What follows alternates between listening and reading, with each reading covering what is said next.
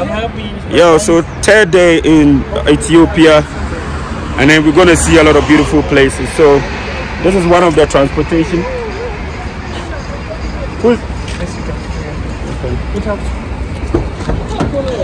Okay, so I don't hear the Okay. So there are options when it comes to there are options when it comes to picking a taxi. Uh, we have the six seater or the seven, then we had a four seater. So we have how many are we? Four. Yeah, we have five yeah, four plus our tour guide. Yeah, so yeah.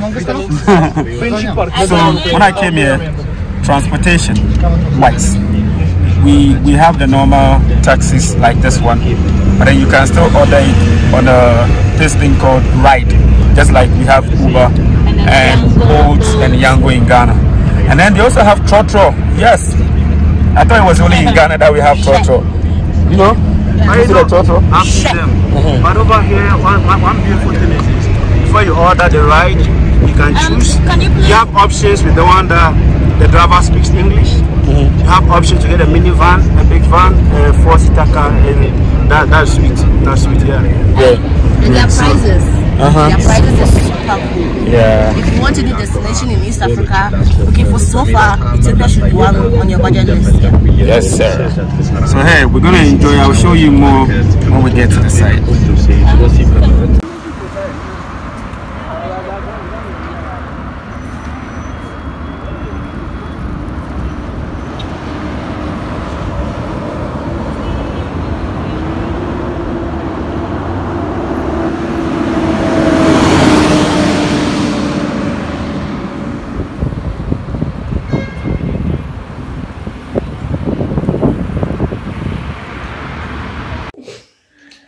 Hello, Ekow. This is Rael from Ethiopia.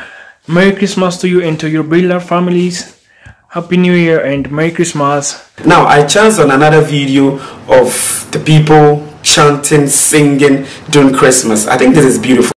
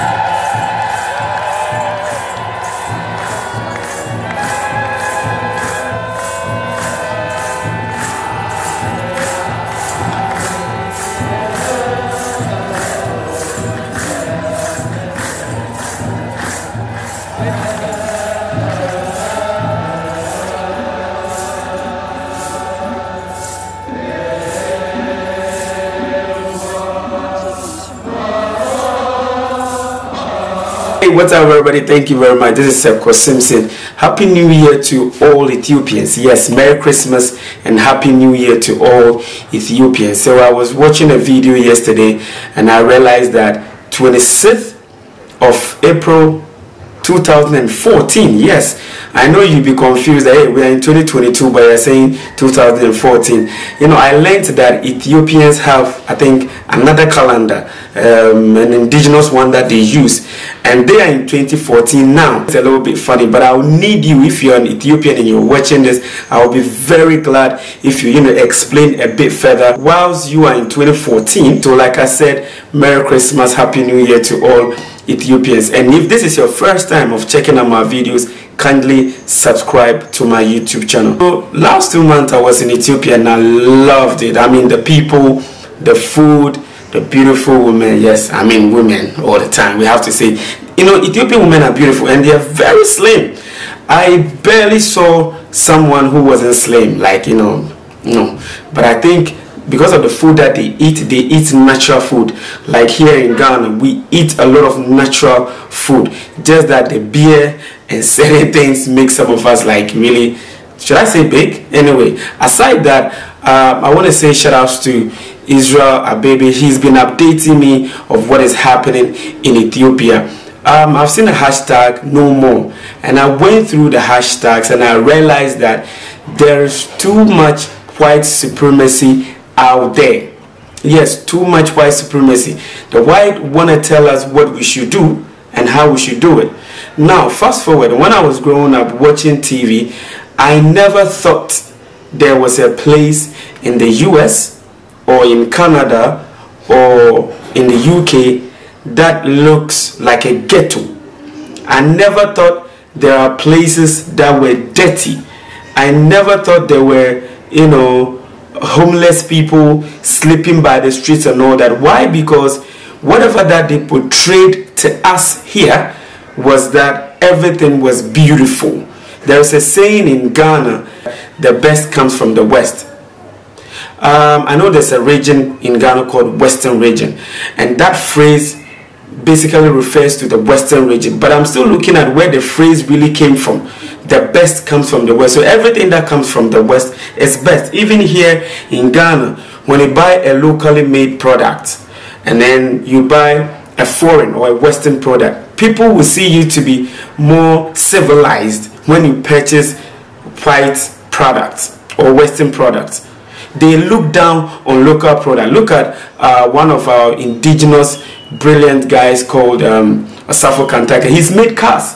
But Ghanaians don't want to purchase it because oh this car is not good, it won't be good. But Ghanaians will go out there and buy Toyota and buy Chevrolet and buy Chrysler and buy uh, uh, Hyundai and buy all these cars just because they think that the locally made products are bad. So back to what I was saying, the televisions and the, the radio and the internet was really portraying good stuff about the West.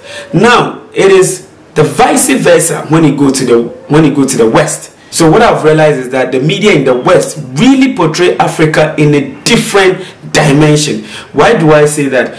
There are beautiful places, beautiful activities, beautiful people, and everything that is happening here in Africa, but they care less.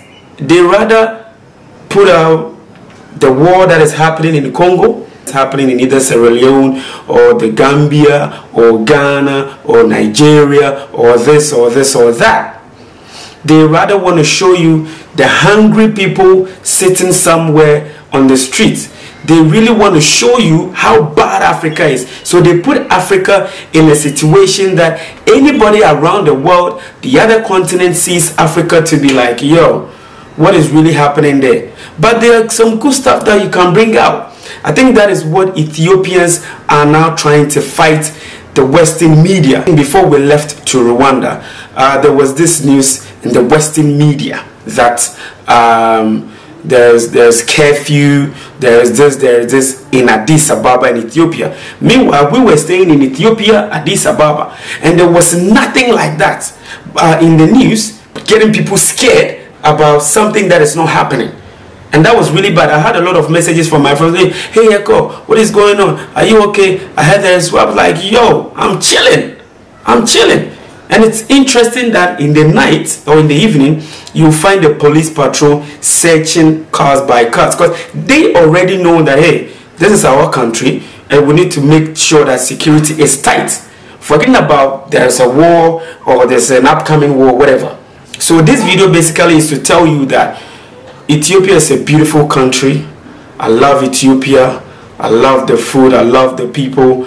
My friends that I took to Ethiopia, like Ekow, this year we have to go back to Ethiopia because it's, it's, it's, it's awesome in Ethiopia.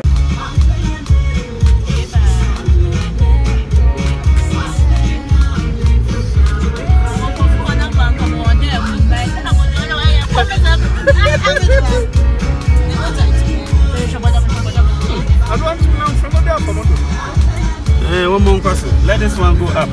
Up, up. Okay. Okay.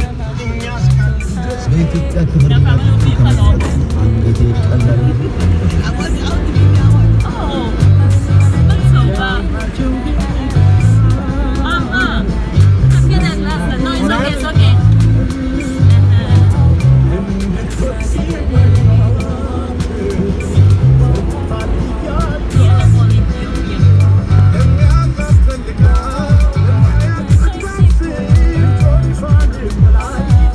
Day two, we are late. Every day we are late.